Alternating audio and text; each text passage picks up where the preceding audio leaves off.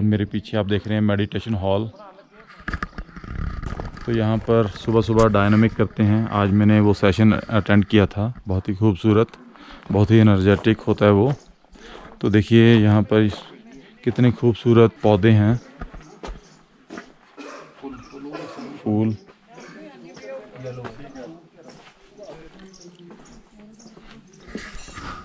और ये आसपास का व्यू शानदार। ये देखिए, क्लॉक कितना शानदार है यहाँ पर। पर टाइम कुछ और ही बता रहा है ये।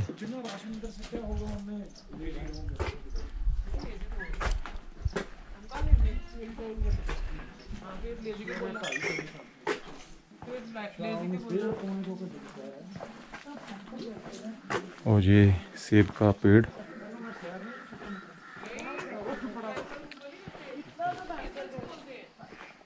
बहुत ही खूबसूरत व्यू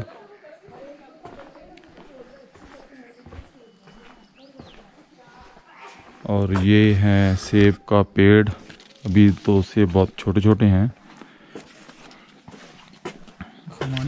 सेब है भाई। ये देखिए सेब थोड़े से बड़े हो चुके हैं यहाँ पर।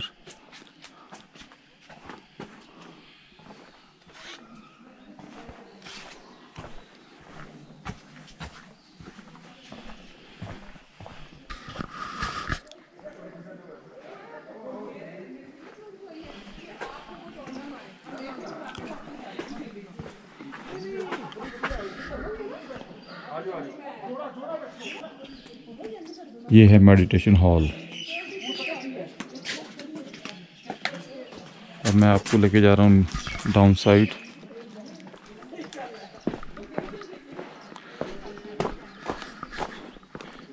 एक और जगह, बहुत ही खूबसूरत।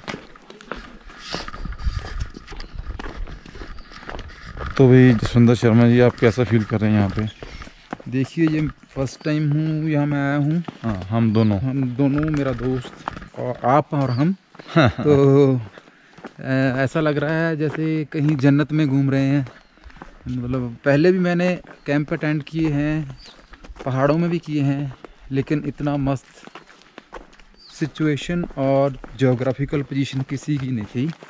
ये पंडार अल्टीमेट जगह है। हम्म, आज सुबह कमल आपका तो फ़र्स्ट एक्सपीरियंस था डायनामिक का। यस हम्म, कैसा लगा? शानदार। बहुत एनर्जी मिलती है यहाँ।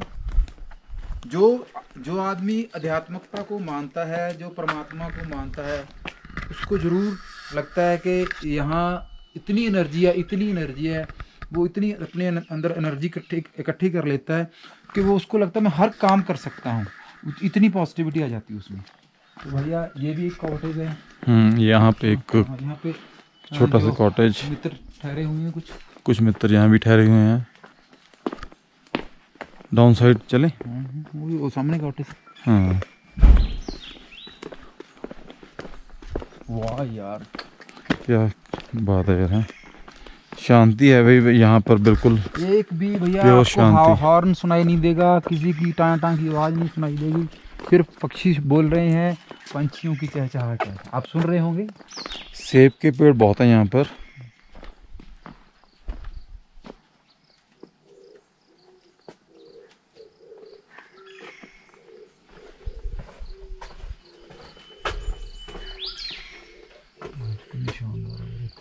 हम्म, एक ये सामने नीचे कॉटेज है ये भी ओशोग्राम का ही एक पार्ट है वहाँ भी रहते हैं। तो ये आसपास पहाड़ भी दिखाई दे रहे हैं देवदर के पेड़ लंबे लंबे ऊँचे ऊँचे कितनी हाइट है इनकी सेब के पेड़। अ, वो जो आप देख रहे हैं सामने दो वाइट कलर के डॉम से वहाँ पे कुछ एग्रीकल्चर को खेती बाड़ी की जाती चलिए ऊपर चलते हैं अब।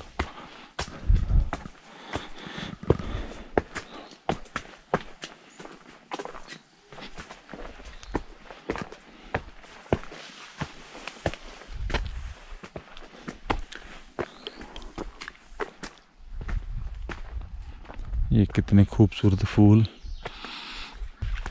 ये वाइट कलर uh, के फूल कितने खूबसूरत लग रहे हैं यहाँ पर। ये अपने आप हुए हैं, ये किसी ने उगाए नहीं है। और इस तरफ़ देखिए, ये है राजमा की खेती।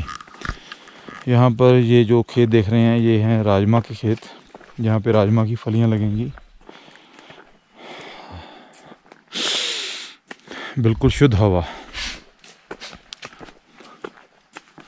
और ये देवधर के पेड़ के ऊपर कुछ जो आप देख रहे हैं फल सा लगा हुआ है। पता नहीं ये खाने योग्य है कि नहीं क्या कहते हैं इसका नाम नहीं पता।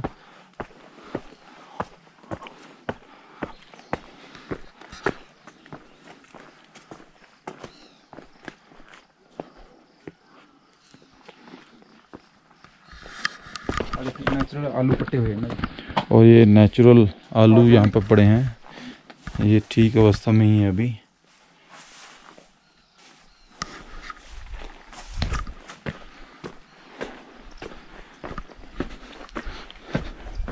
ब्रेकफास्ट का टाइम हो चुका है।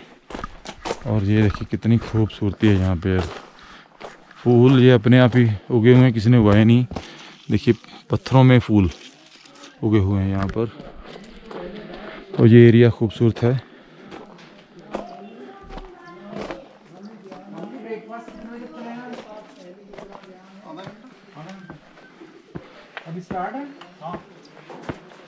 लेट्स कम और ये छोटा सा एक पूल